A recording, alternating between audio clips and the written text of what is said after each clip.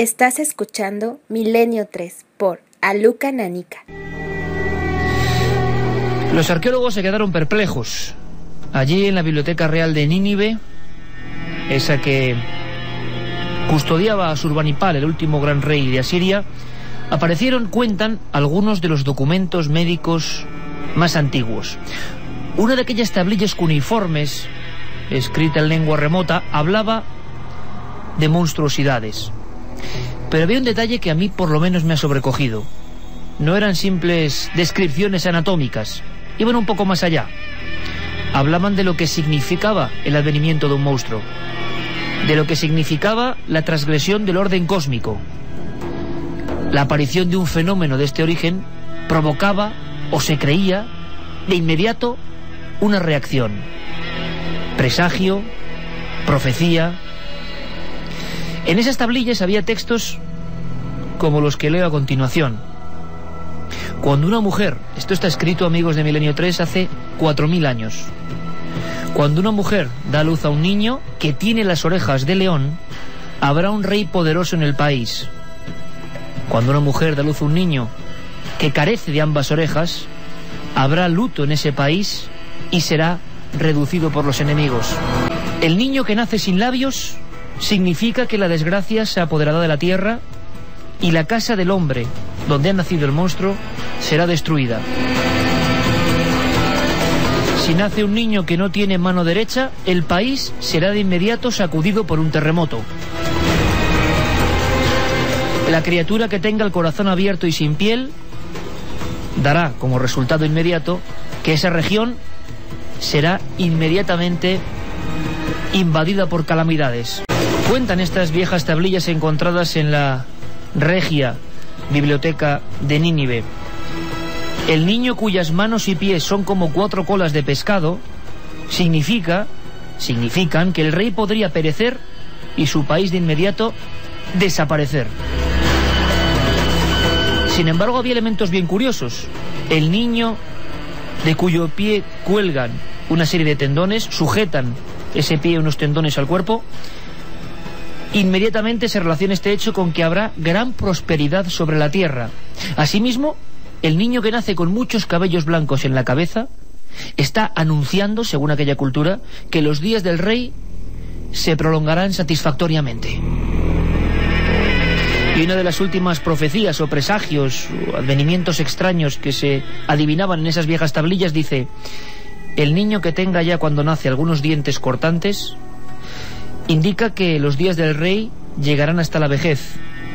El país se mostrará fuerte, las tierras sin embargo débiles, y añaden, pero la casa donde nació el niño, eso como una certeza, se arruinará.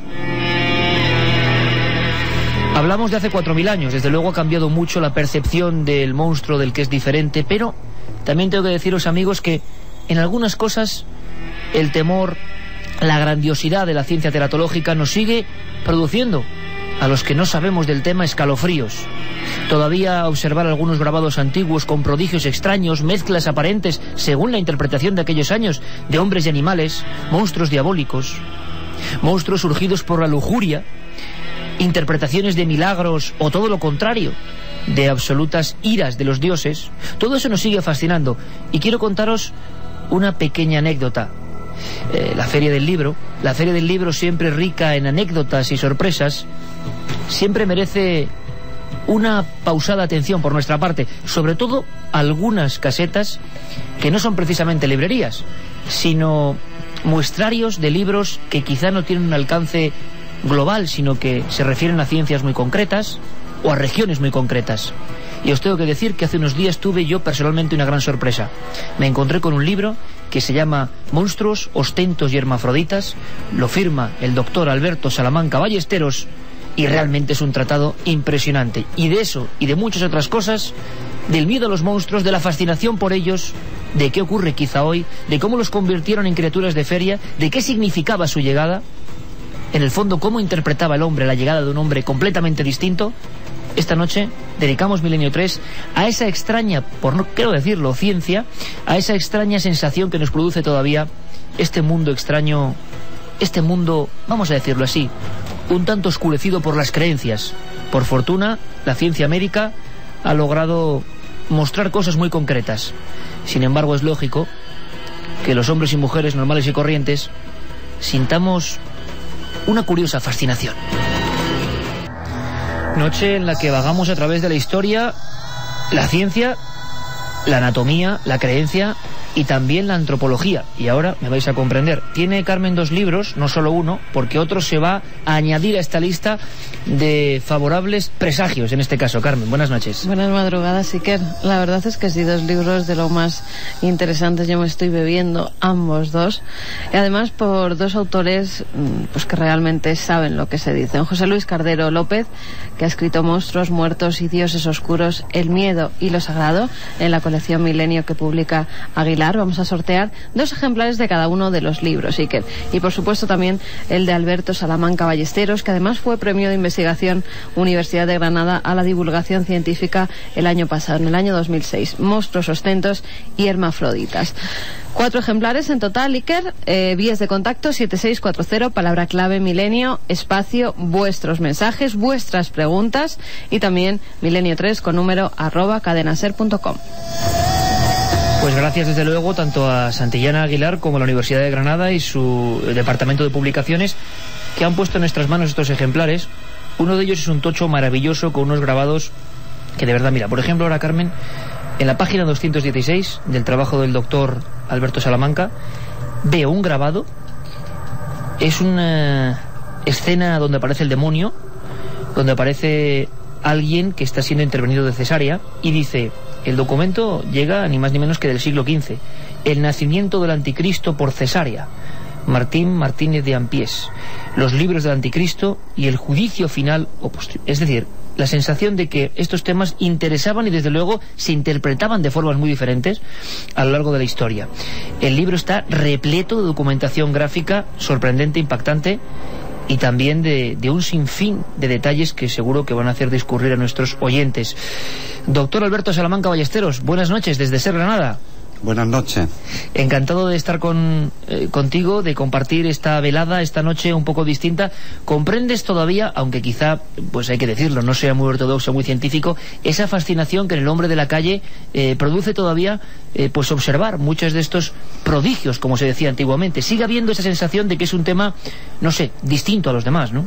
Absolutamente. las malformaciones humanas todavía hoy día eh, significan por una parte esa atracción y por otra parte repulsión y un poco ese miedo que generan es el origen de este libro que acabáis de comentar. Un libro que de verdad recomendamos, doctor, porque, porque nos ha sorprendido, pero de verdad gratamente, eh, sobre todo por la dedicación, por la profusión de documentos, que a veces es muy importante, que enseguida viendo esos viejos grabados, no sé, de un hombre mitad humano y mitad carnero, o una figura como la nacida en Cracovia, que tenía siluetas de caras de perro en las rodillas, claro, así lo veían en ese tiempo, y realmente lo veían así, aunque luego la ciencia demostrase que eso era eh, pura condición biológica. Mm, hay un apartado interesantísimo, realmente en mi opinión, novedoso, es que usted eh, busca las huellas de los monstruos en la más remota arqueología. Y, por ejemplo, nos encontramos con fotografías eh, donde aparecen ya Venus, bicéfalas, figuras con dos cabezas, y caramba, cuando uno va a la cronología, pues se aterra un poco en el buen sentido. 6.700 antes de Cristo, en diversos materiales, por ejemplo en el Museo Arqueológico de Jordania, ya había representaciones de estos individuos que eran distintos y que, si no me equivoco, doctor, por lo que veo, por lo que he intuido en sus escritos, siempre eran presagios más o menos negativos, ¿no? Era como si el orden de las cosas se hubiera eh, roto en algún instante el nacimiento de un monstruo. Es ambivalente. Realmente en la antigüedad tanto se entendían como un presagio de, de algo oculto, de algo fatídico, como también eh, se deificaban y de hecho muchas de estas estatuillas pues actualmente se interpretan como auténticas diosas y esto ocurría pues como acabas de mencionar en 6.000 eh, años antes de Cristo pero casi en la actualidad se pueden reproducir hechos muy similares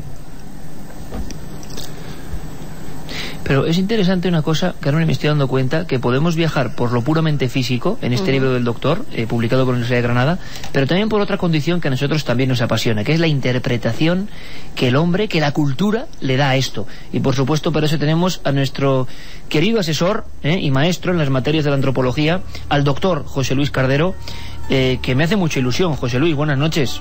Buenas noches. Tener tu libro ya en las manos, ¿eh? Sí, la verdad es que sí, hace mucha ilusión tenerlo ya. Esto seguro que es un buen presagio. Seguro que sí, seguro que sí. Monstruos muertos y dioses oscuros. Eh, ¿Estás de acuerdo con el doctor? ¿Realmente el nacimiento de estas criaturas significaba una ruptura con todo lo establecido? A veces devoción y a veces miedo, evidentemente. Sí, desde luego que sí, porque es en primer lugar eh, romper el, lo que llamamos eh, orden natural de las cosas, que al fin y al cabo tenemos que tener presente que ese orden natural de las cosas es un orden fundamentalmente cultural de las cosas. Es decir, la cultura determina lo que es, hasta cierto punto, lo que es natural y lo que no es natural. Cuando este orden se rompe, se produce una, una gran crisis en el, en el terreno eh, cultural, en el terreno psicológico y probablemente en terrenos más profundos, en terrenos que incluso llegan, a, llegan hasta lo inconsciente colectivo de lo que hemos hablado tantas veces. ¿no? El monstruo, en realidad, eh, como decía el, doctor, es una cosa ambigua, fundamentalmente ambigua. ¿Por qué? Pues porque no se define y el ser humano necesita clasificar, necesita eh, que las cosas que tiene a su alrededor estén perfectamente determinadas. Y eso se sale de la norma, evidentemente. Claro, es una desviación. Sí, sí, exactamente. Se sale de la norma y por eso produce, eh, produce miedo, produce terror, produce algo muy parecido a lo que producen los dioses, a lo que produce esa cosa que no sabemos muy bien lo que es, que es lo sagrado. Porque eso también es algo absolutamente ajeno al hombre, algo que le llega desde fuera. Eh, seguro que muchos de los oyentes eh, van a echarse las manos a la cabeza y no van a creer, pero es que realmente pasaba así. A- hasta hace unos cuantos siglos eh, las teorías sobre la naturaleza de los monstruos hoy nos pueden sonrojar, pero realmente, bueno, hay un clásico, ¿no? Que es el de Ambroise Paré, que, uno de los padres de la cirugía, algunos de los documentos grabados que muestra, bueno, culpaba a los monstruos en algunos casos de, de ser engendros del demonio. Hay uno de los capítulos del libro del doctor Alberto Salamanca que directamente se habla pues de la demonología teratogénica, es decir, de la presencia de alguna forma del mal, vamos a llamarlo así, en todo lo que tiene que ver con estos nacimientos. Y yo creo que esa idea Claro, por supuesto, y hay que decirlo, y siempre que hablamos de estos temas lo hacemos con esa visión antropológica, cultural, eh, y por supuesto la medicina mm, hoy en día eh, tiene perfectamente eh, clasificadas eh, estas deformidades, por supuesto que nadie, por favor, se sienta aludido, ni mucho menos. Hablamos además de casos habitualmente muy complejos y bastante extraños para, para el común de los mortales, ¿no? Eh, cíclopes, figuras que parecen la fusión de, de varios cuerpos a un mismo tiempo. La sensación de que el maligno doctor estaba rondando por ahí, haciendo de las suyas, eh, ha estado presente mucho tiempo a lo largo de la historia, ¿no? Efectivamente, mm, prácticamente desde el siglo X, con el canon episcopi, que mm, de alguna manera despreciaba el vuelo de los brujas. Eh, sin embargo, poco después, a partir del siglo XV, se negaba oficialmente el comercio carnal con el diablo. Entre tanto, surgió toda la persecución de, de las brujas, la sumi desiderante, el maleus maleficarum, y de este modo, pues, mm, de alguna manera, el diablo estaba interviniendo en la generación de los monstruos. De cualquier forma, lo que se hacía era mm, de alguna manera mm, resumir en un detalle prosaico la intervención del diablo y ahí hacía falta la intervención de incubos o súcubos que eran las formas que adoptaba el diablo para mantener relaciones sexuales con los seres humanos, con los mortales. Y de este modo, pues el planteamiento era primero que el diablo era capaz de mantener esas relaciones sexuales, inmediatamente después que esa relación sexual era posible que, que originara una generación de un ser y luego por otra parte que ese ser originado y producto de esa relación sexual eh, terminara siendo un monstruo. De manera que en esa escala, en esos detalles prosaicos de esa intervención diabólica, eh, todo ello con una argumentación que ahora, como tú bien has dicho, podría sonrojarnos, pero que era perfectamente admitida y que le costó la vida pues casi a 400.000 mujeres en aquellos, en aquellos siglos. 400.000 mujeres. Eh, leo en su libro, doctor, que el 9 de diciembre de 1484 el Papa Inocencio VIII eh, promulgaba la bula eh, Sumis Desiderantes Affectivus. Uno de los párrafos indicaba que muchos mortales se entregaban a excesos con los demonios, incubos y súcubos, y que por encantamientos, hechizos u otras supersticiones sacrílegas eh, hacían que mm, pereciesen los alumbramientos de las mujeres y generaban de alguna forma estas criaturas deformes. Es decir, eh, cuando ¿Qué pasaba, no? Eh, ¿Qué tuvieron que vivir y ver los médicos de aquella época cuando, por ejemplo, en una comunidad rural, imaginémonos, nacía una criatura que para que la gente visualice perfectamente estamos hablando de algunas que realmente son muy extrañas, son muy raras. Pues por ejemplo, eh, la ciclopia, un niño con un solo ojo y a veces, si no me equivoco, con una nariz eh, que surge en mitad de la... Eh, o incluso por debajo del único ojo con una situación un tanto extraña, anómala. Claro, en aquella familia, en aquel entorno cultural, era poco menos que la huella del diablo se había presentado, ¿no? ¿Qué, pasaba con aquellas criaturas habitualmente? Eh, como imaginan algunos, realmente se quitaban de en medio, se enterraban, solían vivir muy poco tiempo, eso es cierto, ¿no? Mm, evidentemente, este tipo de anomalías, mm, tanto antes como ahora, tienen pocas horas de supervivencia postnatal. Eh, en los casos en que pudiera sobrevivir algunos más días, pues en muchas ocasiones lo que se hacía era exponerlos a la inclemencia del tiempo y con lo cual aceleraban la muerte o tenían menos cuidados de los habituales. Desde luego, muchas veces el nacimiento de este ser monstruoso lo que originaba era, o lo que producía era el efecto de poner de manifiesto el hecho de que aquella mujer necesariamente había tenido que mantener relaciones con el diablo para que su hijo naciera con esas características. También tengo que decir que los médicos en aquellos momentos estaban más alejados de todo lo que era la obstetricia. En realidad estaban en aquellos momentos más en manos de las matronas, de las parteras y los médicos empezaron a intervenir algunos siglos más tarde y terminamos siendo los, los obstetras de la actualidad. Pero mm, a lo que me estabas preguntando, al tema de, ese impacto eh, que generaba en la familia cuando nacía un ser de estas características, pues mm, probablemente es muy parecido al que pueda originar en la actualidad. Eh, no ha cambiado tanto en ese aspecto las reacciones. Eh, usted cuenta una anécdota, doctor, que a mí me, ha impresionado mucho, nada más comenzar. Bueno, explica por qué se mete un poco en este mundo eh, y hacer este tratado, ¿no? Que le ha permitido además alzarse con el premio de la investigación en la Universidad de Granada. es porque usted sufre una experiencia muy dura a nivel personal de recibir una pareja, pero hace muy pocos años realmente, que bueno, les informa de alguna serie de deformidades y creo que, le llega a sorprender, que le llega a impactar la reacción eh, en, este mundo eh, actual de hoy de esas personas. Parecía que el tiempo no había transcurrido, ¿no? que el miedo que, que, se vivía en aquellos pacientes era el mismo. Efectivamente, yo creo que la respuesta eh, ante la malformación es una respuesta que se ha mantenido a lo largo del tiempo. Es exactamente igual. La respuesta a esos miedos es la que genera los debates mm, en otras muchas parcelas de la ciencia, el derecho, la religión, de la que estábamos tocando hace un momento por el tema de la demonología, etcétera. Y todo eso es el libro. En definitiva, la anécdota que cuento al iniciar en la introducción, pues se podía repetir en muchas otras pacientes que desafortunadamente eh, han sido eh, castigadas, entre comillas, con el nacimiento de un, niño deforme. En realidad en aquella oportunidad mm, se trataba de un cíclope y los padres, como siempre suele suceder, buscan un culpable, eh, descartan otros eh, en la familia.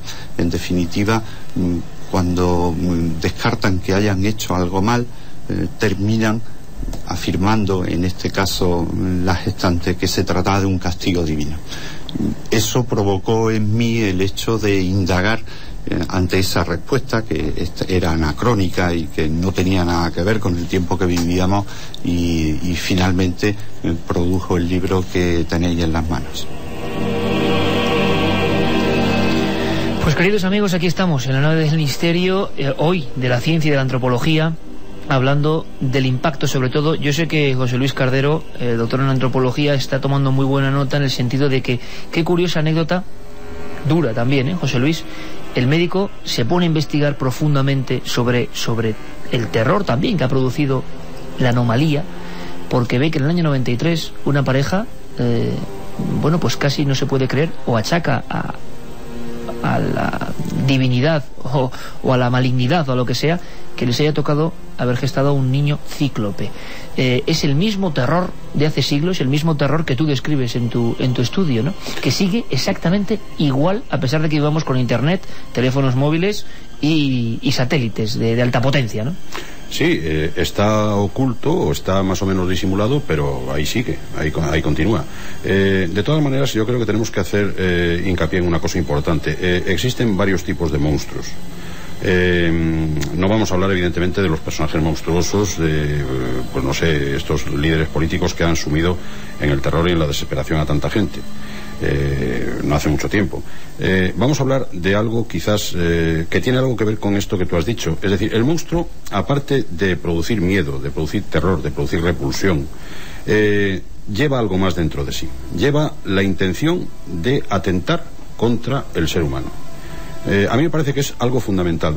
Y eso es lo que produce el miedo fundamentalmente al monstruo. El monstruo lo que quiere es destruir, quiere propagar su mal quiere propagar eh, esa, ese morbo, mmm, por ejemplo el vampiro cuando muerde a su víctima o el hombre lobo cuando muerde a su víctima. Lo que quieren además es propagar eh, la licantropía o el vampirismo, por, por, poner un ejemplo. ¿no?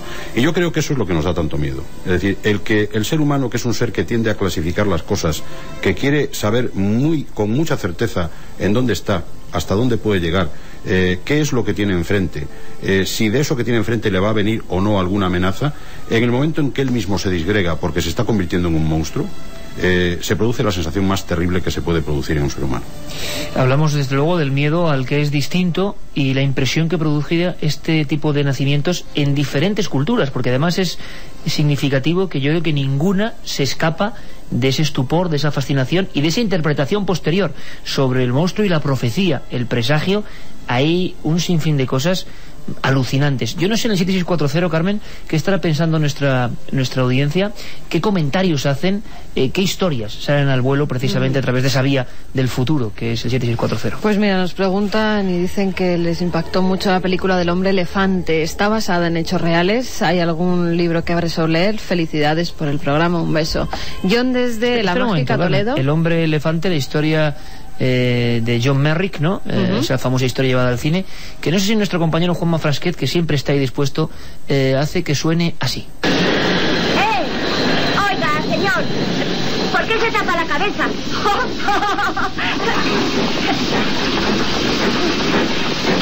Dígame, ¿por qué tiene la cabeza tan grande? ¿Qué le pasa? ¿No sabe hablar? Eh, ¿Por qué no me contesta, señor? Eh, Conteste, ¿eh? Yo, yo no soy ningún monstruo. Yo soy un animal. Soy un ser humano. Célebre historia que si queréis luego comentamos de John Merrick y la historia también de superación personal, ¿no? John desde Toledo nos dice cuál es el caso de mutación más extraño del que tenéis constancia. Mi amiga ha nacido con una Luego se lo malformación preguntamos al doctor. que le sigue creciendo el final de la columna como si tuviera colita. ¿Eso qué significado tendría? Se pregunta Encarni. César de Murcia dice desde la antigua Grecia las mezclas de hombres y animales siempre eran fuerzas negativas, por ejemplo, las sirenas, los faunos, los centauros. Jorge dice si sería posible que algunas malformaciones se deban a la influencia de diversos animales en la evolución del hombre y no solo de los primates. En fin, un sinfín de preguntas que vamos a intentar ir desvelando eh, después de las noticias, por supuesto, porque hay que estar conectado con la actualidad en apenas unos minutos. Aquí viene David Martos, eh, nuestro compañero. Ahora vamos enseguida con todo lo que ha pasado, que es mucho, y después vamos a intentar viajar por diferentes mundos, porque hay muchos en torno a, a los monstruos y a lo que significaban para la cultura, para el hombre y para la vida. Y también nos gustaría saber qué pasa hoy, porque la ciencia ha puesto barreras o por lo menos conocimiento y luz a todo esto. Sin embargo, no siempre fue así. Y las historias de monstruos muchas veces fueron realidades, no precisamente ficciones. Lo descubrimos después, en unos minutos, aquí en Milenio 3. Dos y seis minutos, siempre en directo. Alberto Granados, por supuesto, ahí en la nave del misterio junto a Juanma Frasquet. Con estas músicas que a veces también nos evocan cierta tristeza, porque hay muchas historias que fueron pues profundamente tristes. Estamos tanto el doctor José Luis Cardero como Carmen y yo eh, mirando, eh, ojeando grabados. Pues, por ejemplo, cojo uno cualquiera que nos retrata ese tiempo, ¿no? Ese tiempo de maravillas, de prodigios y de monstruos. Dice, monstruo capturado en la laguna de Tagua, en la estancia de don Próspero Elso, en Chile. El dibujo, bueno, pues este dibujo, por ejemplo, ha, sido portada de algunas monografías muy interesantes sobre otros monstruos y dice figura demoníaca, con melena que le llega hasta el suelo y se le enredan los pies, dos colas, dientes muy largos y boca, boca, perdón, del ancho de la cara. 1784. Eh, miles, miles de grabados se hicieron eh, y como ocurre con otras disciplinas artísticas, desde luego, a veces se ceñían en la realidad y otras eran exageraciones. Pero en esas exageraciones vemos cómo los ojos de aquellos hombres veían e interpretaban. Eh, con José Luis Cardero hablábamos en estos minutos de noticias fuera, que siempre hay una tertulia paralela, sobre esa historia que además se repite en el 7640. Si hablamos de monstruos, pues un gran clásico es El hombre elefante. Eh, John Merrick, como ejemplo también de monstruo dentro de lo social, ¿no? del orden social. Eh, hay que decirlo, eh, monstruo, historia completamente real. Sí, sí, desde luego, absolutamente real. Su esqueleto incluso me parece que está en el Museo de, de Medicina de Londres. Eh, fue un ser evidentemente desgraciado, como todos estos, como, todas estas personas a las que, la, con, la, con las cuales la naturaleza no es precisamente favorable, sino que en ocasiones es muy cruel. Eh, y suponía sobre todo una, una violenta ruptura con, con, lo que mm, la figura humana representa para el propio ser humano. ¿no? Eh, yo creo que incluso creo recordar que alguna legislación hablaba de que el ser humano se reconocía cuando tenía figura humana. Es decir, la figura humana, el hecho de que eh, lo que nosotros teníamos delante fuese asimilable a un ser humano, es tan importante para nosotros que no solamente ha sido recogido en textos legales, sino que ha sido recogido pues en textos sagrados eh, los textos algunos textos de, de, de, culturas como la egipcia o de culturas como la, como la propia cultura judía determinan eh, aquellas eh, figuras que son puras y aquellas figuras que son impuras. Sobre todo hay un tremendo terror, un tremendo rechazo al, a lo que es híbrido a lo que híbrido. se mezcla a lo que se mezcla. Por ejemplo una cabra eh, eh, con un, el cuerpo de cabra el, los, las extremidades de cabra el, la parte superior de ser humano. Sabemos por ejemplo que el propio demonio la imagen demoníaca que tanto tenemos eh, a la vista en todo tipo de reproducciones fundamentalmente eh, se basaba en esto, es decir, en, en, una boca con grandes colmillos, una boca, esa, esa descripción que acabas de hacer, en realidad, sí. una boca extendida de a, ambos lados de la cara, eh, incluso bocas en otras partes del cuerpo como el vientre o el pecho, unas grandes uñas, unas grandes garras eh, que destrozaban, arañaban, eh, eh, arrastraban con ellas todo lo que todo lo que tocaba y sobre todo fundamentalmente esas patas de cabra o esas patas de pezuña hendida que siempre en la antigüedad eran representativas del dios Pan, pero no solamente de él, sino de una serie de figuras, pues como los sátiros, los, los, los silenos, es decir, esos seres que no se sabía exactamente qué condición tenían y que andaban sueltos por los bosques y que tanto aterrorizaban a nuestros antecesores. Pero, José Luis, está claro en lo que has descrito que ahí estaba el arquetipo de todos los miedos profundos del ser humano y que todavía hoy nos impactan. Y claro, cuando nacía una criatura de este tipo, pues claro, se trazaban algunas semejanzas e incluso se exageraban, imagino, en los tratados y en los documentos, pues como eh, muestra del monstruo que había nacido como estigma poco menos que diabólico. La hibridación o la sensación de, de diversas conjunciones también es tratada en este trabajo del doctor Alberto Salamanca y nos sorprende porque es verdad que parecía pues como lo más abyecto incluso hay palabras sobre los hermafroditas que desde luego no estaban muy bien vistos en ciertas épocas doctor nos preguntaban eh, podemos confirmar perfectamente que la historia del hombre elefante no es solo una película o una novela ni mucho menos sino un caso teratológico eh, real y muy bien conocido ¿no? Efectivamente, no tanto teratológico porque John Merrick no tenía ninguna malformación congénita, tenía una enfermedad que se conoce actualmente como neurofibromatosis múltiple. Eh, la neurofibromatosis múltiple se describió eh, tan solo dos años antes de que se descubriera a John Merrick como portador de la misma y fue un, un afamado médico alemán, von Recklinghausen, el que la había eh, descrito, como digo, tan solo dos años antes de que, de que se descubriera a John Merrick.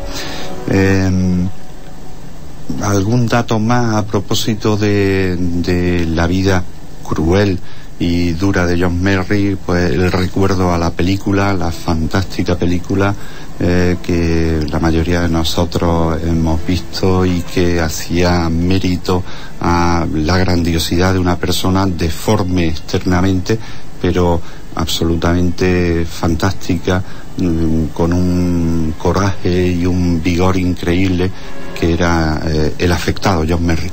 Que además llega ah, de alguna forma a convertirse en una estrella, vamos a llamarla casi casi mediática de su época, la alta sociedad eh, si no recuerdo mal, permite incluso que, conviva con ellos, a pesar de que, claro, durante el principio estuvo maltratado como bestia de circo prácticamente, pero luego tuvo eh, su buen tiempo, vamos a llamarlo así, ¿no? Porque asistía a los teatros y al final un poco la mala suerte o la propia condición de esa enfermedad degenerativa que acaba con su vida. Hay mucha leyenda y nos preguntan mucho también sobre si es verdad que el hombre elefante murió, dicen algunos amigos aquí en 7640, por el peso de su propia cabeza que prácticamente le desnucó o alguna postura extraña que acabó impidiendo la respiración.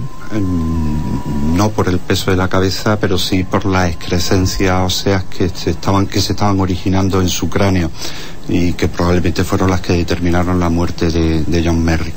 De cualquier forma, me gustaría reseñar que, eh, eh, esa dicotomía, eh, el mostrarlo en la feria, pero por otro lado el vestirlo elegantemente y mostrarlo solo a la alta sociedad son dos cosas muy parecidas.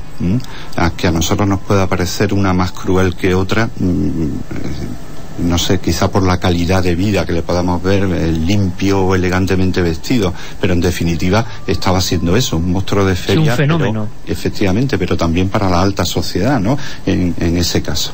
Claro, y, esto eh, da paso a la siguiente cuestión, doctor. Eh, el tratamiento, ya en tiempos, vamos a decir, más modernos, los circos ambulantes o las ferias donde eh, algunas personas piensan que bueno, esta gente se ganaba la vida y no tenía otra forma, pero otros desde luego vemos ahí eh, una auténtica esclavitud en muchos casos, condiciones de vida terribles, eh, y aquí se demuestra que algunas malformaciones, quizá no las más raras o las más extremas, por las que antes nos preguntaban, sí eran compatibles con la vida, ¿no? No como los casos de los cíclopes u otros, que, que es mucho más extraño que vivan. Y entonces iban por ferias ambulantes y se convirtieron según tengo entendido, doctor, en un lucrativo negocio en muchos países. No sé si en España llegó a haber eh, este tipo de ferias con asiduidad. Mm, eh, probablemente no con tanta intensidad como en otros países, eh, como en Inglaterra con la Bartholomew Fair o en, Norteamérica donde había una auténtica cadena que iba de costa a costa americana mostrando a estos seres deformes. que por otra parte mm, los que sobrevivían al periodo neonatal o a la infancia era tremendamente dura en aquellas circunstancias, pues era la única salida que tenían como eh, obtener una remuneración, obtener dinero. En España mm, convendrás conmigo que si no había ferias monográficas dedicadas, dedicadas a los monstruos, sí que en las ferias normales, al menos yo aquí en Granada y en mi infancia, he visto algunas casetas, algunas barracas de feria donde aparecían o anunciaban a, qué sé yo, a la mujer barbuda o a la mujer serpiente, una pretendida mujer serpiente y cosas de este estilo. Es cierto que yo no he llegado, ¿tú has llegado a verlas, Carmen? Estas atracciones. No. Yo, yo tampoco. José Luis, ¿tú sí has eh, llegado a observar algunas de este tipo? Sí, algunas. carteles eh, existen, desde luego, de que pasaron por algunos pueblos, ¿no? Sí. De los años 40, 30, 50, como mucho. Sí, pero eran, la mayor parte de ellas eran mistificaciones, eran. Fraudes, hechos es profeso. Sí, por ejemplo, la famosa mujer sirena, sirena que anduvo, eh, por lo menos en algunas ferias de Galicia estaba, ¿no? Entonces era un fraude.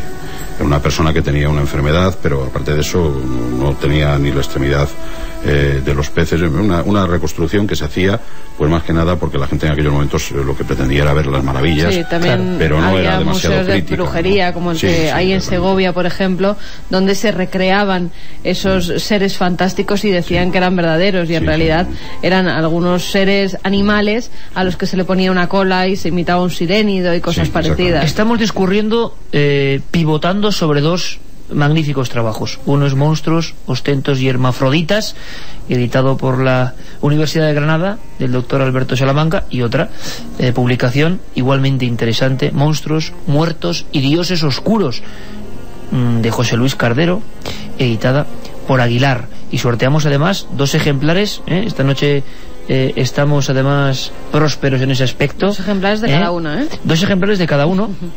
Y es curioso porque con José Luis estábamos mirando y ojeando las fotografías, algunas de ellas, pues hombre, sí, para un médico, desde luego, eh, no son impresionantes, imagino.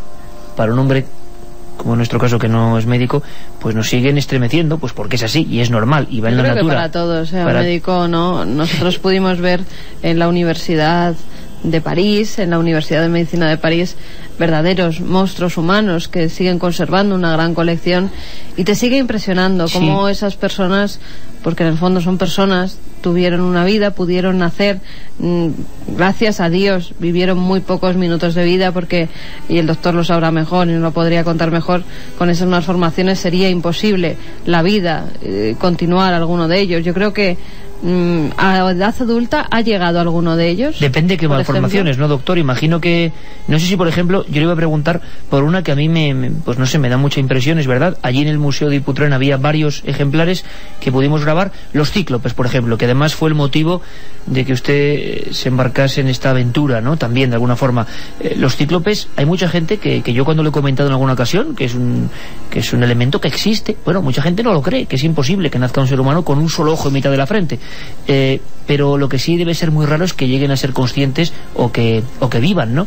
Eh, yo no sé si es la intentando responder a la pregunta de un oyente que nos escribía si es la malformación más rara, más extraña, eh, la más sorprendente que usted ha, ha tenido conocimiento de ella. Sería incapaz de decir esto. El, al que le parezca la cosa más rara, eh, quiero decir, podemos variar de conceptos, de ideas. Eh, ciertamente es una malformación no tan extraña en el, medio médico.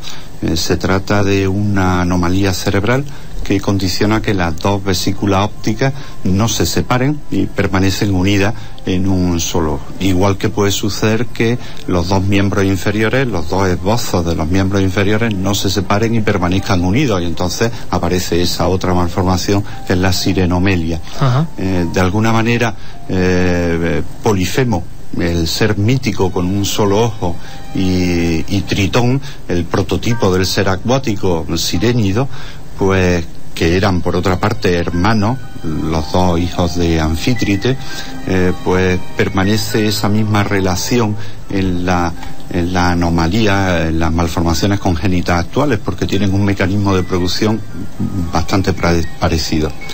Mm, ¿Cuál es la más rara de todas? Pues realmente sería muy complicado decir cuál es la más rara, pero que, eh, porque podríamos hablar en rareza en cuanto a frecuencia Ajá. o rareza en cuanto a impresión que le ocasiona al ser que está eh, observándola. Y, de ahí pues podríamos hacer un mundo, obviamente. Claro. Eh, doctor, eh, a pesar de, que uno debe estar, yo no sé si acostumbrado o no se acostumbra uno nunca, eh, cuando uno se sumerge en este trabajo de verdad totalmente recomendable, sí, sí que es cierto que puede impresionar, pero que desde luego la cantidad de documentación lo hace apasionante y aunque algunas de las litografías o grabados o documentos pues de verdad mm, son, son impresionantes en cuanto a su grafismo, ¿no?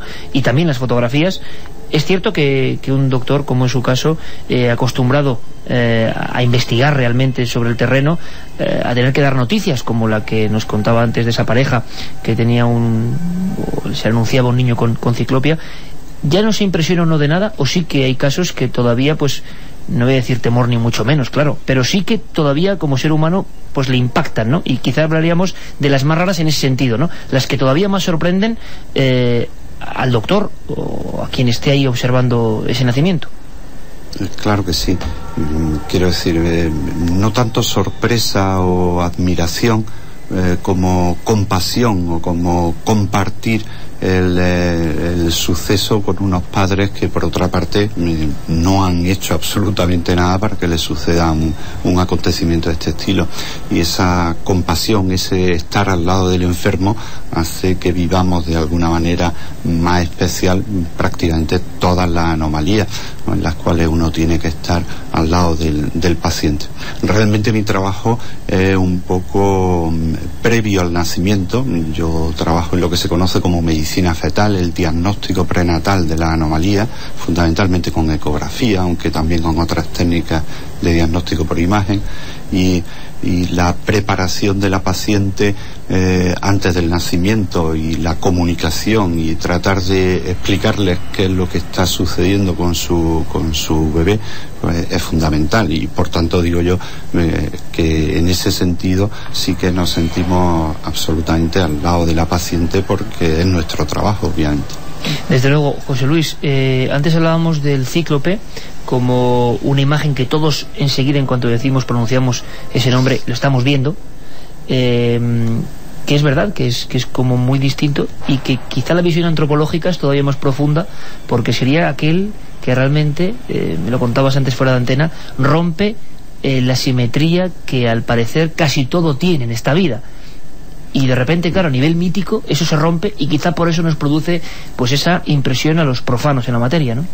Sí, eh, en realidad eh, mm, podríamos decir que toda la historia de la cultura humana, desde que esa cultura nace, eh, allá por el Paleolítico, desde que se empiezan a manifestar esas primeras formas culturales, supone un intento por separarse mm, de una forma consciente o inconsciente de la animalidad, es decir, de, de esa especie de masa indiscriminada de seres eh, de los que el ser humano pretende distanciarse. El ser humano se ha definido como eh, Homo sapiens sapiens, como animal racional, se ha definido de muchas maneras con tal de separarse, de hacer una especie de solución de continuidad entre él y el resto de los seres vivos. No por ningún tipo de razón aristocrática en principio, sino sencillamente porque el ser humano necesita fundamentalmente estar seguro del lugar en el que se, encuentra y sobre todo necesita eh, tener una clasificación muy clara y muy taxativa, mm, de hecho toda la cultura viene a, viene a, terminar en eso, de todo lo que le rodea. Y sobre todo definir lo que son los otros, los que están enfrente, de los cuales les puede venir el peligro, les puede venir la, propia duda acerca de lo que es él y sobre todo esa eh, especie de mmm, precaución insidiosa o de preocupación insidiosa de que lo que viene le puede atacar dentro de su esfera. El ser humano mm, fundamentalmente se define formando una esfera alrededor de sí mismo, alrededor de su grupo social, alrededor de su comunidad y todos los factores de identidad, todas las luchas, porque incluso luchas que nosotros podemos ver hoy día, están fundamentalmente destinadas a preservar esa identidad. Parece ser que eso es una necesidad muy profunda en el ser humano. Y cuando eso se rompe, como por ejemplo cuando lo que aparece, lo que se esperaba como un ser humano, no tiene aspecto de ser humano, tiene un aspecto distinto, eso produce una gran quiebra en el interior de nosotros mismos. Tienes un grabado ahí, abierto, eh, sí. José Luis, eh, del libro del doctor, que, que, representa una especie de, bueno, un niño que está unido por la espalda a, claro, la interpretación de aquella época, a un lobo, ¿no? A un lobo. Sí, este sería un híbrido en un caso extremo sobre el que habría mucho que hablar, ¿no? Sí.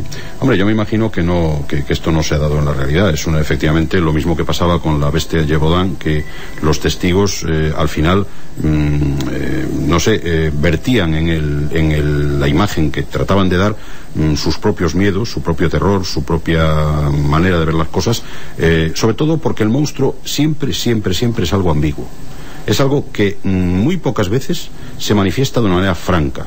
Porque la manifestación franca del monstruo, sobre todo si es un monstruo que trata de destruirnos, es eh, el cuerpo despedazado, es eh, el testigo roto, el testigo muerto. Es mm, bastante raro que existan supervivientes.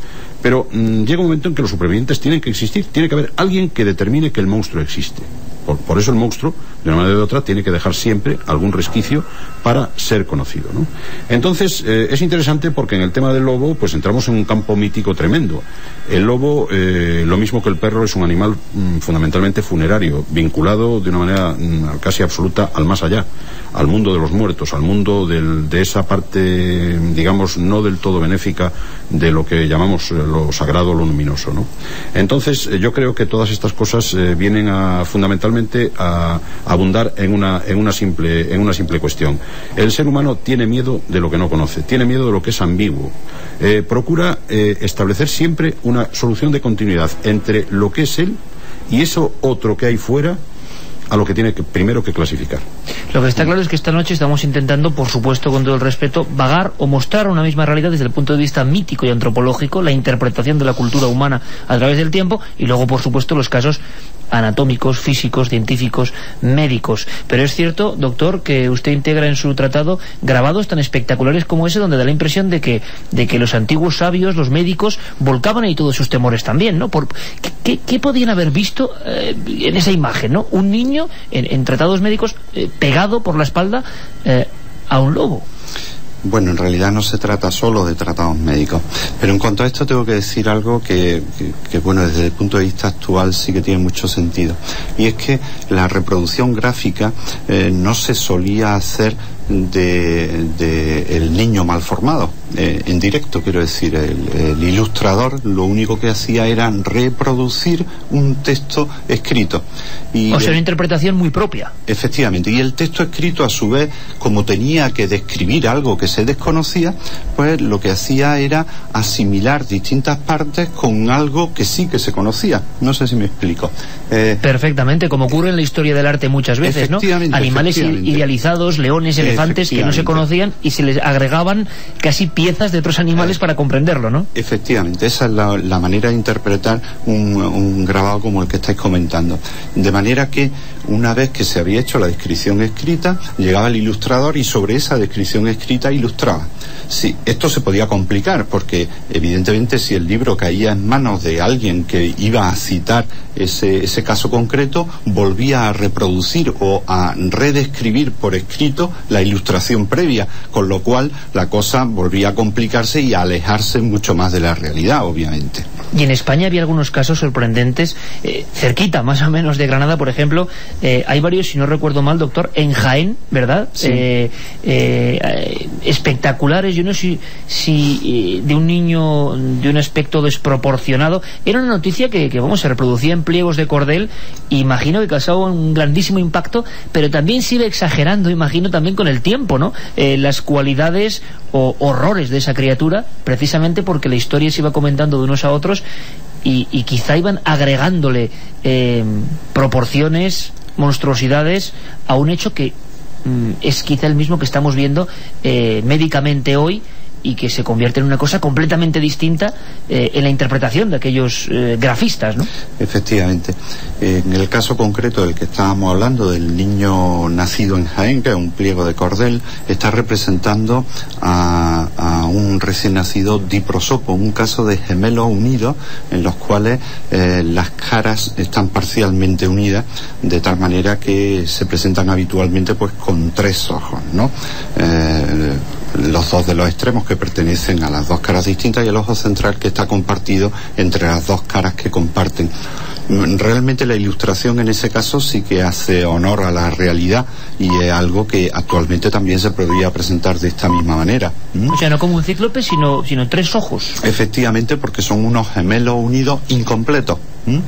De tal manera que habría un solo cuerpo, pero sin embargo dos cabezas parcialmente unidas con dos caras parcialmente unidas. Desde luego, todo esto tiene un aspecto, pues como decíamos, asombroso y observar eh, esos grabados, pliegos de cordel, documentación en algunos casos médica, pues, pues sigue siendo maravilloso, ¿no? Eh, por cierto, que algunos eran excelentes dibujantes, pero también eh, presupongo que eh, las teorías que recorrían el mundo, eh, pues también eh, impregnaban ese papel y ese dibujo. Eh, cuando se creía que era el diablo el que estaba por detrás de estas acciones, o la lubricidad, o la lujuria, porque incluso, doctor, y esto también es singular de verdad, se culpaba muchas veces a la madre, ¿no? La madre o su estirpe o su familia algo tenían que haber hecho eh, para que surgiese esto y por otro lado incluso en las propias posturas del acto sexual depende cómo fuesen eh, hay tratados o bueno eh, dichos incluso populares que hablaban de que determinada forma o no forma pues podía provocar a estas criaturas imagino que la gente del pueblo lo creía en aquella época ¿no? Claro, claro. Y auténtico debate importante recogido en la historia a propósito de esto. O incluso pues libros dedicados prácticamente a este aspecto que estamos comentando, la lujuria inmoderada, eh, tanto desde el punto de vista cualitativo como desde el punto de vista cuantitativo, la frecuencia de las relaciones sexuales, como las posturas eh, durante el coito, pues podían generar monstruos. Y de hecho, bueno, pues hay un caso curioso que está recogido en este caso de, de la Real Academia de Medicina de Sevilla, en la que un médico, un médico rural, eh, asombrado ante el nacimiento de un recién nacido con alguna anomalía, eh, pregunta a la madre indaga acerca de todas las posibles etiologías de las malformaciones congénitas de la época y entre otras preguntas le, le hace la cuestión de que si el coito en el que fue concebido aquel niño fue en situación inversa. La mujer, pobrecita, dice que eh, aunque eh, ese modo inverso de cohabitar lo practica con relativa asiduidad con su marido, está segura de que el coito en el que concibió este niño fue en la postura normal como ese podríamos citar muchos más, pero eh, quizá mm, eh, hacer esa, esa eh, prosaicamente distribuir lo que es la, la, la lujuria moderada desde un punto de vista cuantitativo, es decir, la frecuencia de las relaciones sexuales que hacía que el semen se debilitara y que por tanto se explicara la anomalía congénita o la, la, las distintas posturas anómalas, entre comillas, eh, que se podrían mantener durante el coito, explican muy bien, durante una época muy determinada, eh, el hecho de que aparecieran eh, niños mal formados.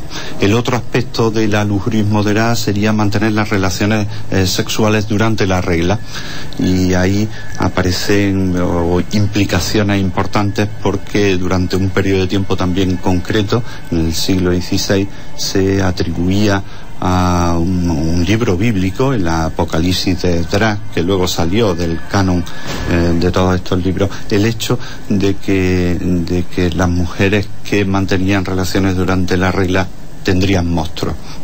Realmente esto, y después de un documentado estudio de una eh, autora italiana, Ottavia Nicoli, eh, se llegó a la conclusión de que realmente todo esto no era otra cosa que el error de un copista, un copista de aquella versión del Apocalipsis de Ezra que originalmente se vertió en arameo y que a la traducción al latín eh, se tradujo mal una palabra que fue la que originó todo este lío de las relaciones sexuales durante la menstruación y la generación de los monstruos. Pues hay que hablar mucho de ese aspecto porque eh, gran cantidad de monstruos a lo largo de la antigüedad eh, bueno, presentaban formas, por ejemplo, eh, de híbridos, como decía antes José Luis Cardero, eh, piernas de león, Ambroise Paré fue desde luego un experto que reprodujo una y mil veces estos monstruos, mitad animal, mitad humano.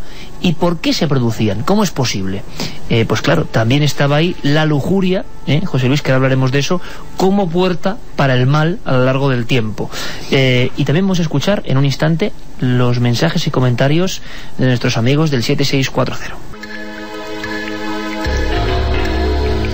Pues vamos con algunos de esos mensajes que nos llegaban a la vía de contacto 7640, palabra clave milenio y lo que nos queráis contar, vuestras preguntas también para los dos especialistas.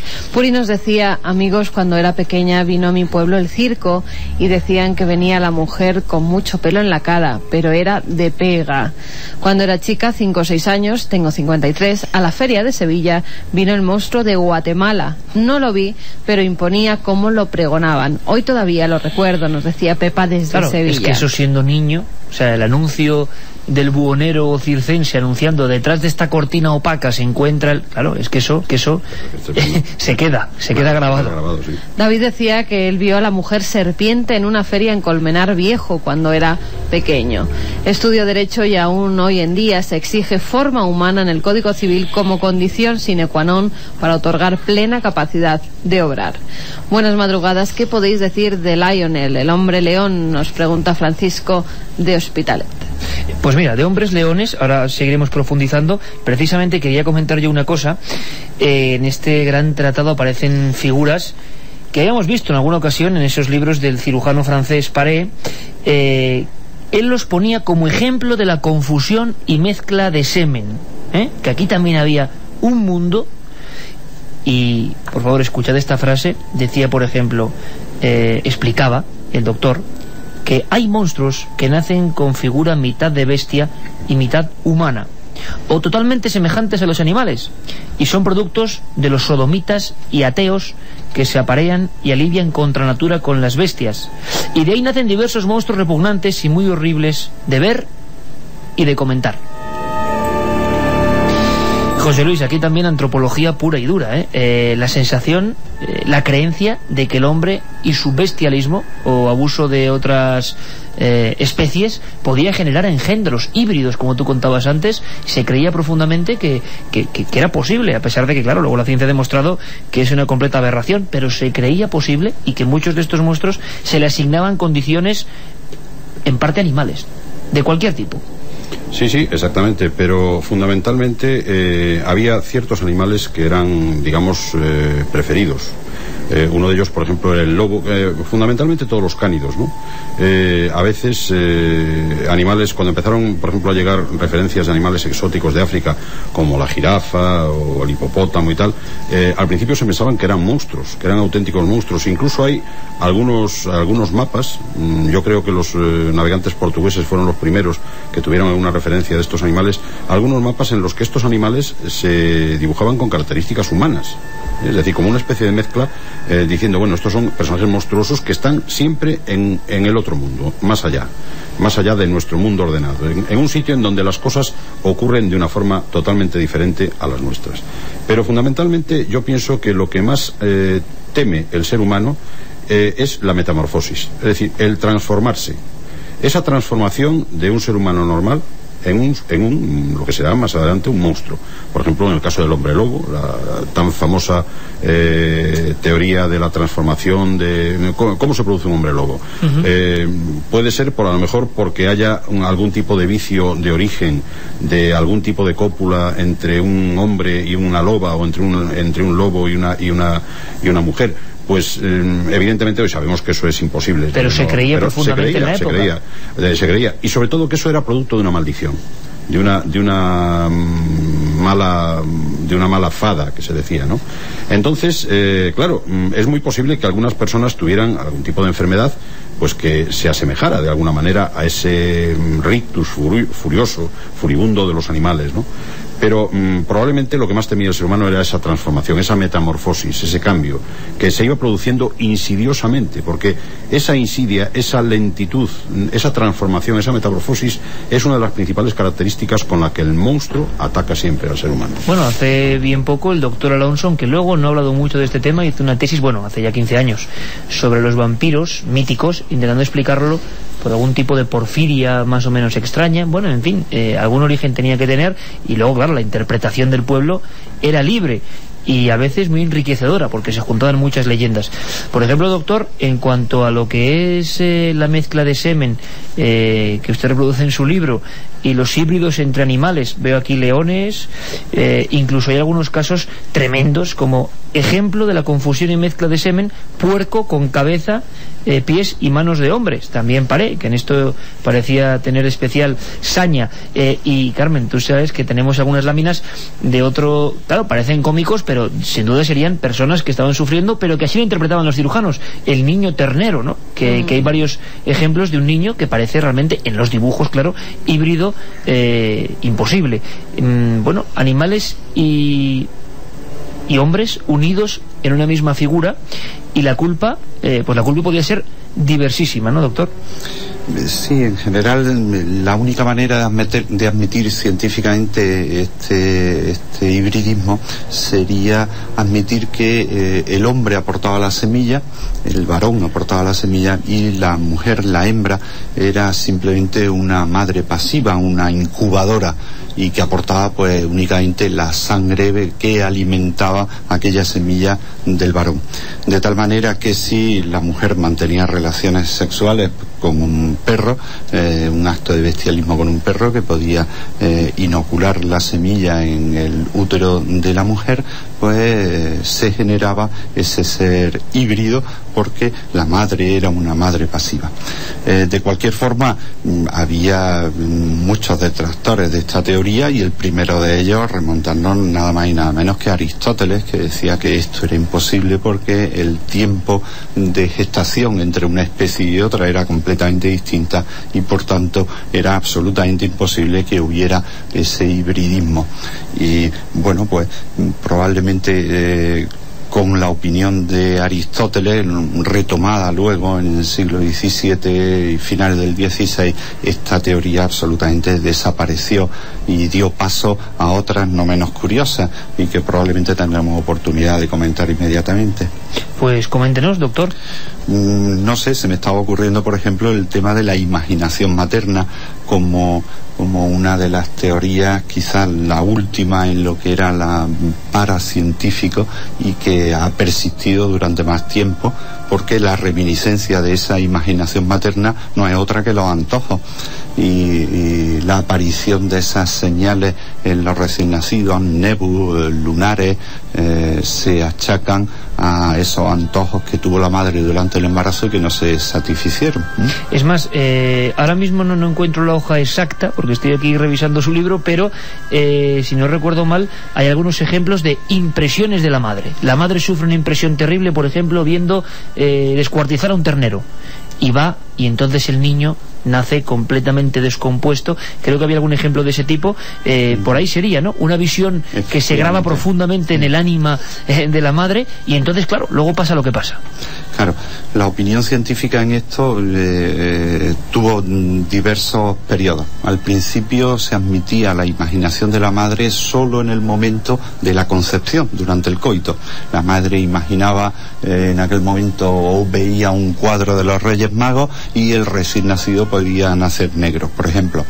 O eh, la madre estaba imaginando una figura muy hermosa y el recién nacido finalmente era muy guapo.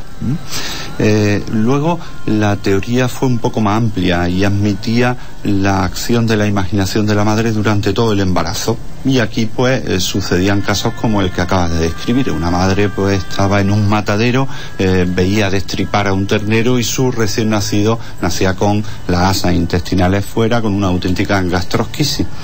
Eh, pues como todo eso eh, finalmente quedó reducido a la admisión de la vis imaginativa de la madre, de la imaginación de la madre, porque también podría haber intervenido la del padre durante el, momento de la relación sexual, pero la de la madre con esos antojos que he dicho que quedan como una reminiscencia de esta etiología de la imaginación de la madre. Antes comentábamos, José Luis, y estoy viendo otros grabados, incluso de otros mundos. Es más, eh, en el propio descubrimiento, la aventura eh, de 1492 y años posteriores, desde luego, había informaciones de que lo que mm, eh, los humanos, si es que eran humanos, porque tampoco en algunos casos se veía claro por parte de las autoridades si tenían alma o no tenían alma. Y ese discurso y ese problema del alma del distinto e incluso problemas para el bautismo de los monstruos ha seguido hasta hace bien poco. Sí, claro, porque es que lo, que estamos lo que estamos diciendo, es decir, el ser humano necesita eh, comprobar que eh, ese ser con el que está hablando eh, pertenece a su propia especie. y se pensaba que no había alma en los individuos que salían al paso en, en la época de sí, bueno, la de América. En la, en, la, en la, historia de la cultura, en realidad se ha negado la existencia de alma en todos aquellos seres que eran distintos, al final que eran heterodoxos o que eran, digamos, que no eran, que no, no presentaban el mismo comportamiento ¿no? Incluso llegó a discutirse en algún momento si la mujer tenía alma o no tenía alma, ¿no?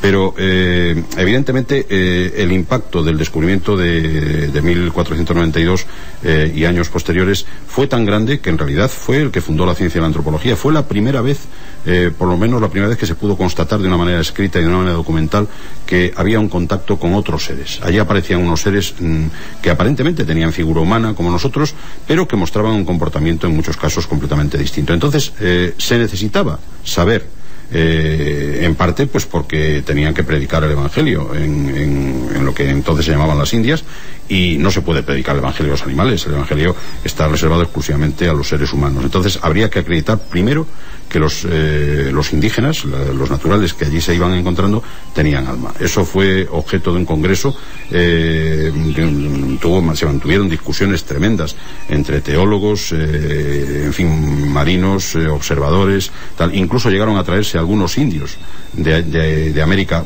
para estudiarlos más de cerca, ¿no? Para que los, los expertos de la época pudieran estudiar más de cerca. Al final se llegó a la conclusión de que efectivamente eran seres humanos, tenían alma y que por lo tanto eran susceptibles de poderles predicar el Evangelio y de poder y, y, tendrían que ser tratados como, como tales seres humanos, lo cual eh, prohibía la explotación, prohibía la, la pues no sé, la, la trata de, o la animalización de estos seres, ¿no?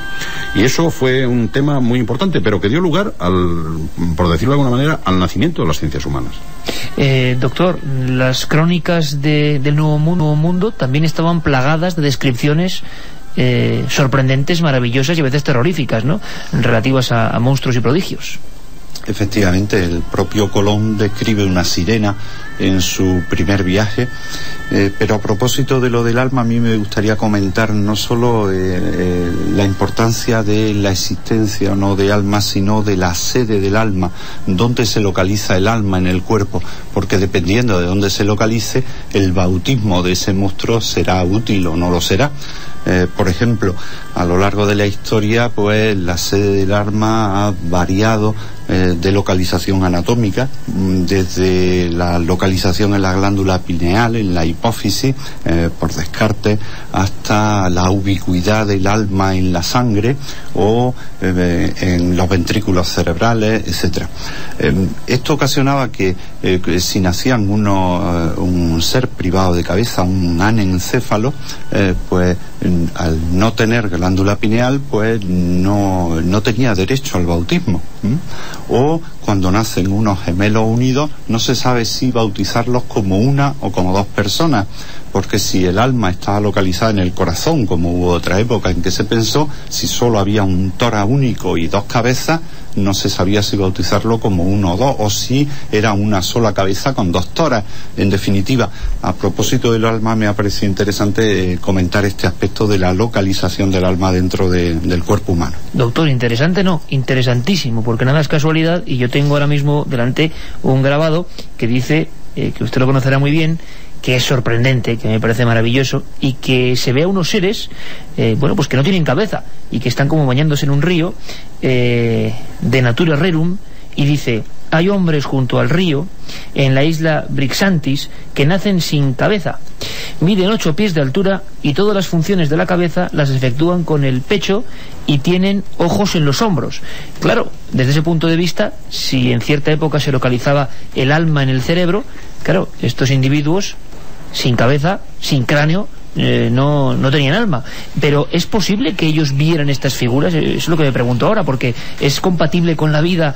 Eh, la claro, entonces ¿por qué, ¿por qué esto de dónde surgía? Eh, la anomalía congénita del ser acéfalo, que es distinto del anencéfalo que yo he comentado antes, pero en definitiva, bueno, el ser acéfalo, que siempre es producto de una gestación gemelar, y producto de una transfusión sanguínea del gemelo sano al, o de una comunicación de la sangre entre ambos gemelos, lo que provoca que a uno de ellos no le llegue sangre oxigenada y no se generen algunas de las partes del organismo, en este caso la cabeza. ¿no? Eh, evidentemente eso es incompatible con la vida. Sin embargo, en, en las razas monstruosas, estos acéfalos eh, sí que podían interpretarse a posteriori, al menos así lo entiendo yo, eh, como la visión de los orangutanes el orangután en las selvas de Birmania eh, presenta unas características cifosis que cuando está en reposo hace que la cabeza parezca empotrada en el pecho y la visión frontal de un orangután parece la de un ser desprovisto de cabeza y las, los rasgos faciales surgen del pecho. Y esa visión es posible que, permitiera el, eh, desde el punto de vista antropológico, y mi contertulio eh, podrá ahora anotar algún dato al respecto, eh, que fuera esa la interpretación, como digo, de esa raza de seres acéfalos porque es sorprendente, ¿verdad, José Luis?, que hubiese grabados donde aparecía esa malformación médica que realmente existe, individuos sin, sin cabeza, y que, primero, que aparecieran grupos de varios individuos, que eso sí que nos parece rarísimo, ¿no? Eh, era la imaginación, era la fantasía, eh, era la necesidad de contar cosas sorprendentes que maravillaran a quien la recibía, el receptor, desde luego tienen una fuerza tremenda estos grabados y no solo hay uno como he mencionado yo ahora es que está lleno el libro de documentos claro con unas sonrisas un tanto curiosas muchos los localizan en islas ¿no? en lugares más o menos apartados la presencia de hombres mujeres sin cabeza y que tienen los ojos en los hombros, la nariz en mitad del pecho y la boca pues prácticamente a la altura del estómago. Sí, porque eh, efectivamente, como decía el doctor, lo maravilloso siempre se localiza, eh, habitualmente se localiza en eh, los lugares que están fuera de nuestro mundo. Es decir, las islas son las típicas representaciones del más allá, en la, en la, mitología, en la cultura. Eh, todas aquellas tierras que están allende el océano eh, son, digamos, las imágenes del, otro mundo. Y ahí es precisamente en donde se están localizando todos estos monstruos. Es decir, estos monstruos habitualmente no se localizaban en, un lugar inmediato de residencia. Y efectivamente lo que, lo que se comentaba antes de que los primeros exploradores tuvieron que encontrar animales como los que hoy, hoy día vemos y que no nos resultan extraños, como por ejemplo en el caso del orangután, animales eh, tremendamente peludos que adoptaban una forma distinta de, con los brazos metidos entre el, entre el cuerpo y tal. Y entonces esto pudo efectivamente haber dado la impresión a esos primeros viajeros de que, están, de que estaban viendo seres eh, absolutamente extraños, ¿no? Eso que tú describías. Así lo describían ellos y es verdad que un orangután en determinadas posiciones puede parecer un hombre sin cabeza con el rostro, con la faz ahí en mitad del pecho. No me resisto, doctor, a preguntarle por una escena eh, que antes eh, yo destacaba porque son rarísimas, es un tema que a mí siempre me ha inquietado, las descripciones del anticristo, ¿no? del mal casi en estado puro. Eh, y usted reproduce en su libro ese nacimiento del anticristo por cesárea. Eh, no hay muchas, ¿verdad? No hay muchas descripciones de ese mal encarnado eh, que, bueno, se ha referido pues media humanidad a él. Sin embargo, en, en este grabado tan extraño, eh, fechado en, en Zaragoza, 1496, el anticristo que nace tampoco tiene, parece un hombre pequeño, pero no es monstruoso, ¿no? Sí que intervienen los diablos. ¿Hay otras interpretaciones del anticristo donde la forma que se le da pues es más prodigiosa, más fantástica o más monstruosa? Sí, probablemente sí existe alguna de ese estilo. Eh, yo escogí entre las varias disponibles para ilustrar este aspecto esta ilustración eh, primero porque era de un compatriota, un, escritor español, Martín Martínez Martínez Dampier, y en segundo lugar porque es una de las primeras, si no la primera representación del nacimiento del anticristo. Y, también la escogí, y esto lo tengo que decir porque soy un obstetra, soy ginecólogo, y entonces me llamó mucho la atención que el nacimiento del anticristo eh, fuera por cesárea, una manera entre comillas, antinatural de nacer. Ahora, claro. que, ahora que está tan de moda lo del parto natural, pues el parto antinatural en este caso está representado por la cesárea, es la, la manera de nacer del anticristo. Pero ciertamente la, la representación del anticristo, la figura, eh, parece la de un recién nacido normal parece un recién nacido normal que no deja de ser tenebroso por la corte de demonios eh, y, con forma de, evidentemente de machos cabríos eh, elevados eh, pues sí que es impresionante la escena y sobre todo pues pleno siglo XV una de las pocas que se dicen que es representación del anticristo Carmen y tú lo has visto es en Siena ¿no? claro es un anticristo más crecido. Sí, un fresco, un fresco que se encuentra además en la sala de, de, lo que era de juicios, ¿no? Se cree que en esa sala estaba el mal, representado en la figura del anticristo, y el bien, enfrentado justamente a él. Y justo en medio de los dos estaba la justicia, y debajo de él una puerta por donde salían los justos, los que habían eh, sido pues eh, dados como que no habían cometido ningún crimen ni ningún robo. Esa figura es tremenda, está representado en muchos de los libros de demonología y esos, eh, esos grabados, hay algunos del siglo XV, siglo XVI, que en libros como el Martín del Río, por ejemplo, se habla ya de esa figura del anticristo y de cómo podía nacer, de cómo se creía. Algunos decían que tenía dos dientes, que podía nacer en la India. Sí, bueno, había toda clase de historias en torno a la figura de ese bueno, anticristo. Eh, qué curioso porque algunas bueno, antiquísimas profecías hablan de que el anticristo nacerá riéndose y con dos dientes. Y sin embargo hemos visto que en la Biblioteca Real de Nínive hablaban que los dientes era símbolo de prosperidad. Menudo tema, José Luis, el anticristo, para hacer otro programa, ¿eh? Sí, sí, sin duda.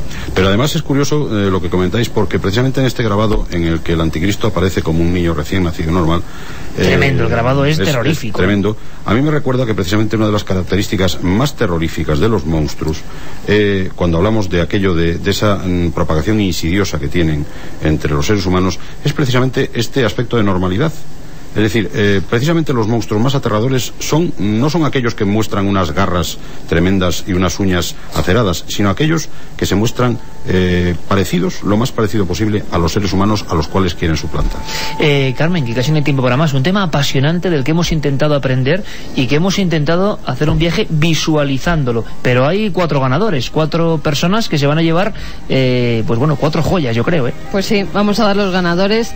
El primero es para Ramón de Mérida, que nos decía en Extremadura nació un gran gigante.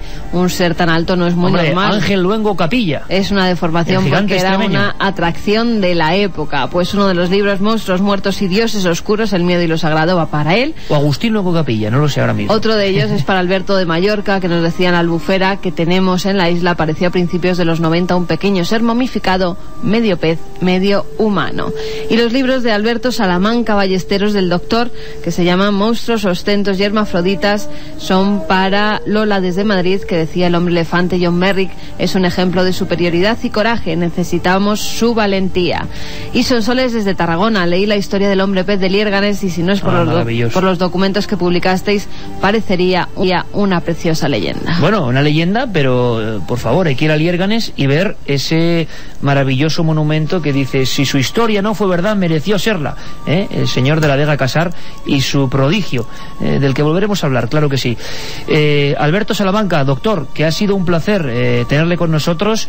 Hemos disfrutado mucho y nos hemos sobrecogido mucho, hay que decirlo, con su libro. Muchísima suerte y espero que vuelva a la nave del misterio. Un abrazo muy fuerte. Igualmente, muchas gracias. Un abrazo.